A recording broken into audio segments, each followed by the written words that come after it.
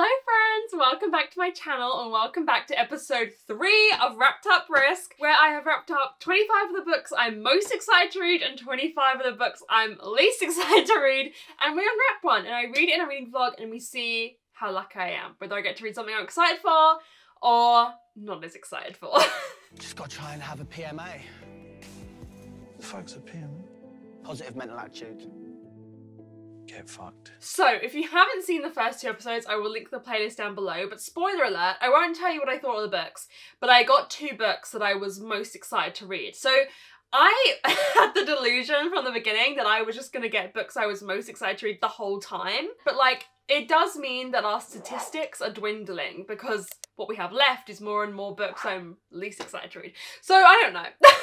I need like a small book. That's the vibe. We're gonna read a small book, but I still want it to be something that's substantial enough to fill out a vlog. We've got a lot of like smaller paperbacks on top here, and I feel like I'm gonna pick one of them. I don't know why, but I feel like I'm drawn to this red one. I think I'm just gonna do it. I'm not gonna overthink it. I always overthink these. Okay, we're just gonna do it. We're just gonna do it. I can't get into this. This must mean it's one my dad wrapped. My dad helped me wrap them and he always wraps really in a way that's hard to open. Um, okay. I don't know which side.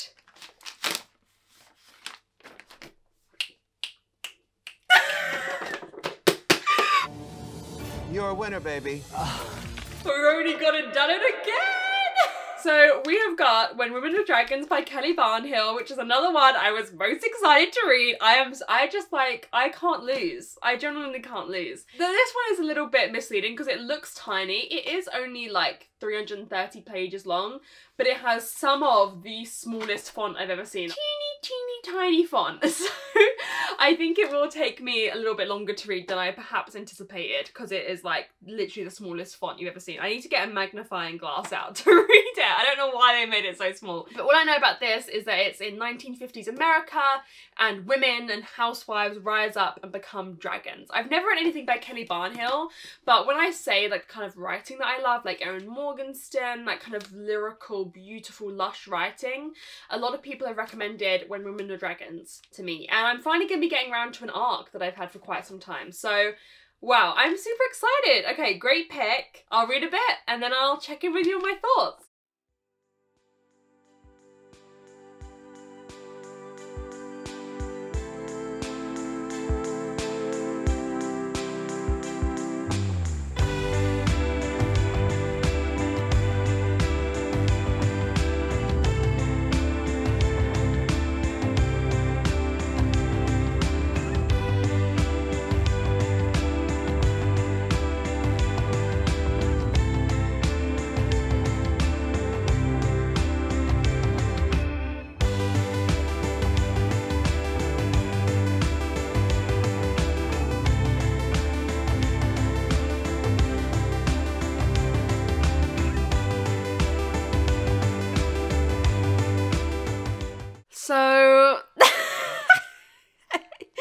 Filmed that B-roll thinking that's like what day was that? The I want to say the 20th?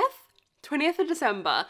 Um I filmed it all thinking I was going to be vlogging loads in Wales from the hotel. Me and Tom went to Wales for a few days before Christmas for his work. I was like, you know, I'm going to read loads of this.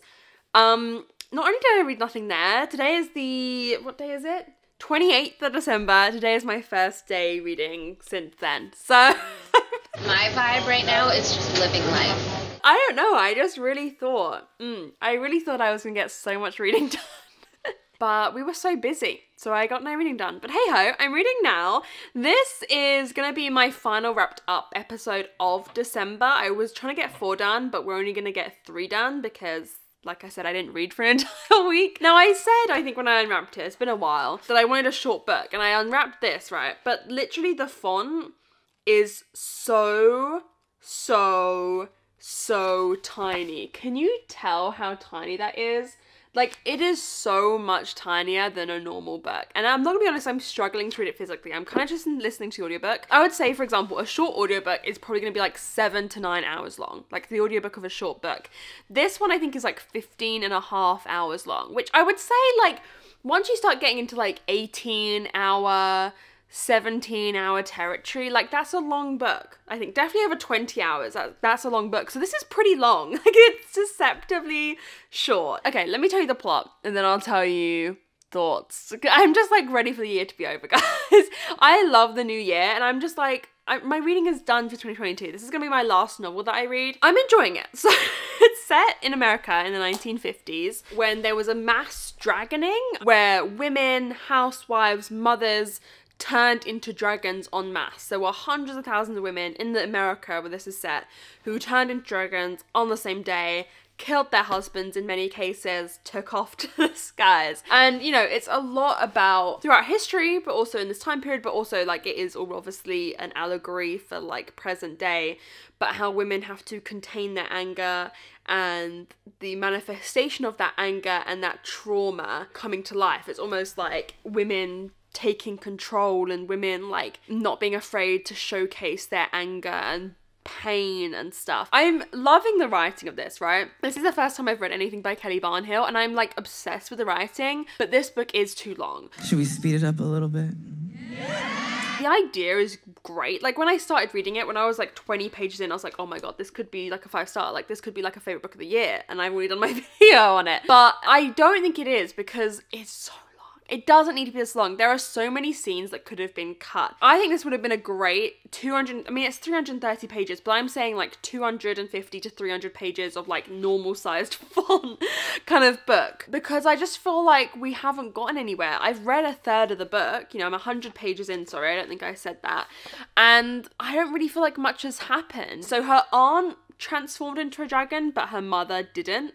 And her mother now insists that her cousin, her baby cousin, um, is her sister. So they're kind of living with the cousin as being a sister. I just wish it was shorter. That's just like I'm really enjoying it. I think I'm gonna keep listening to the audiobook whilst I do stuff. I'm about to do reading sprints my patron, so I think I will try and read it physically with the audiobook for a little while and see how we go. But yeah, I'm enjoying it. I don't even think I'm not enjoying it. Oh, also one of the parts I'm loving about it is there's excerpts from excerpt ex, excerpts experts excerpts excerpts ex. I've said it too many times. It's not a real word anymore.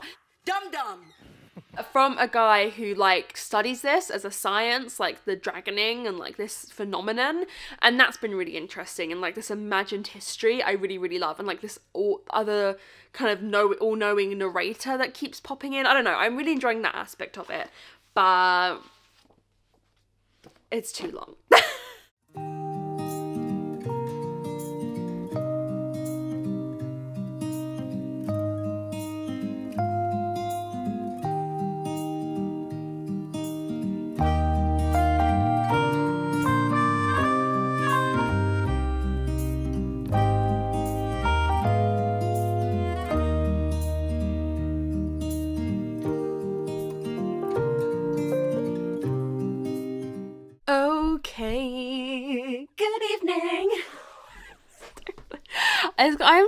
tired. I'm just tired. I am now 200 pages into When Women Were Dragons, and I'm really enjoying it. I'm really, really enjoying it. I would say maybe even a bit more than halfway through. I'd say for the majority of this section, a change happened that makes me very interested to see where the story is going to go. And it kind of like rejuvenated my interest in the story. It added a new dimension, it added a new element to what was going on, and to like just talking about women's burdens and women's like responsibility no burden burden is the best word for it really throughout history i really love the way that this book is talking about stuff and yeah i don't know is discussing everything and is discussing the themes that it has around women's trauma anger burdens women. I also think I do want to say this is something that I've often thought about. Like, if you have a book that is fantastical, powers relating to gender like particularly like women like women having certain powers like how do you make that inclusive? And i will say this book has done a good job of that. There's mention of a drag performance multiple drag performers turning into dragons. And there's just been a good discussion in the bit i've just read about gender. So i feel like it's doing that in a good way as well. It's like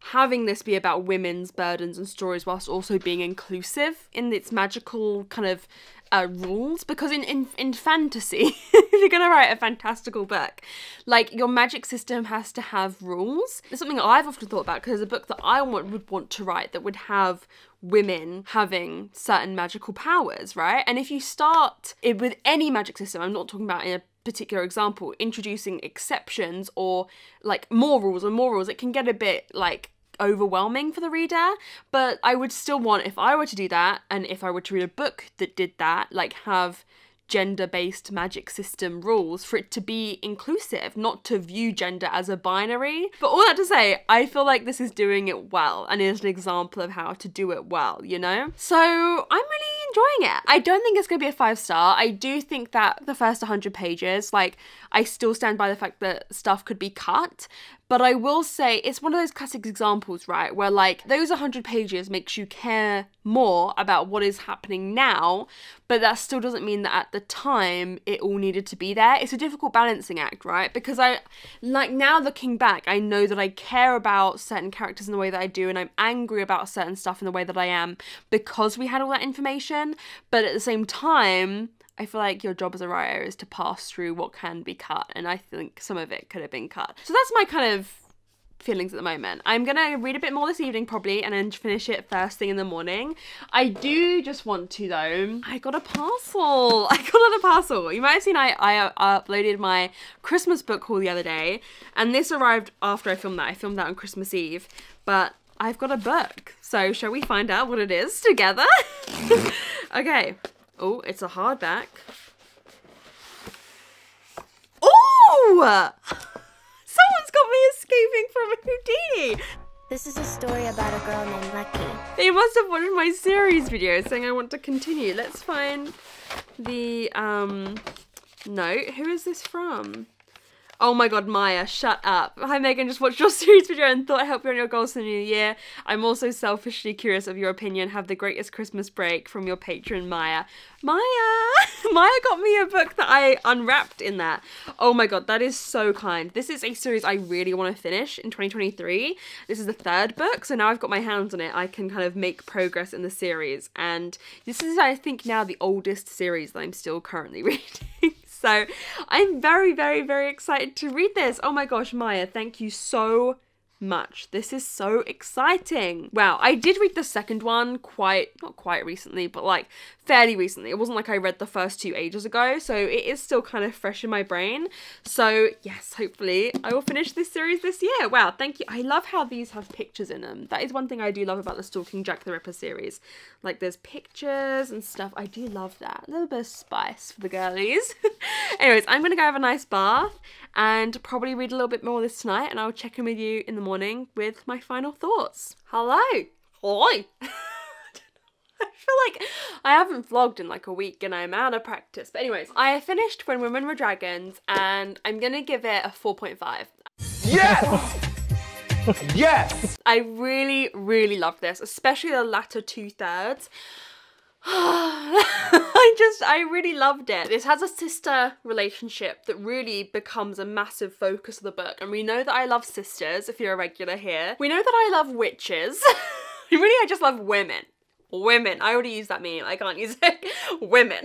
we know that I love witches, and I feel like the dragons in this story are serving the same purpose that witches are serving now in modern literature. And I just loved what this book had to say and the I love an alternative history. I love something that's historical but fantastical. And I, I mean it's just like I just I loved it I loved it. The only reason it's a 4.5 and not a 5 is I do feel like it has some pacing issues.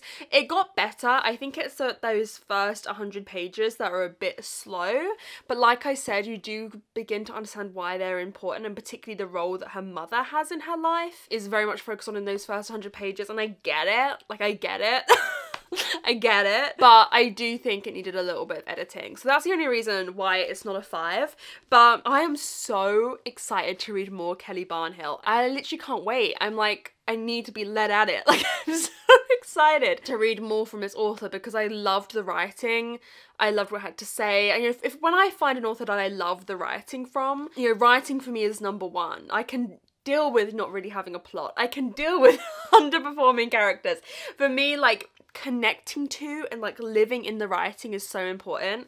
So I just I loved it. I think it's so good. If you're looking for like a feminist alternative history, go read this. Something that I also think is very unique about this book that I haven't mentioned is that Alex, our protagonist, is actually writing this book and she mentions it occasionally, so it's self-referential. She'll be like, as I sit here writing this now, I can't remember this or whatever. But it's done well that it's not all the time. I think when you do that in a book, it has to be like occasional references otherwise it can get a bit overwhelming and yeah I loved the characters I loved the dragons I loved it all So yeah, I would 100% recommend picking this up and that is another success for Wrapped Up. So yeah, sad that I didn't get to do four episodes in December, but this is actually, I think, to be my last video of the year. So thank you guys so much for all your support. I cannot tell you how much I appreciate it, how thankful I am for this year that we've experienced together. And I'm trying to, I mean, I always love the new year and I'm trying to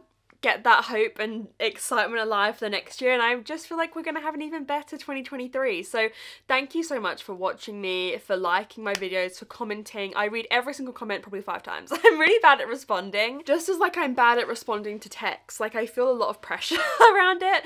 Um but I love reading your comments and hearing from you and I just love you I love ya.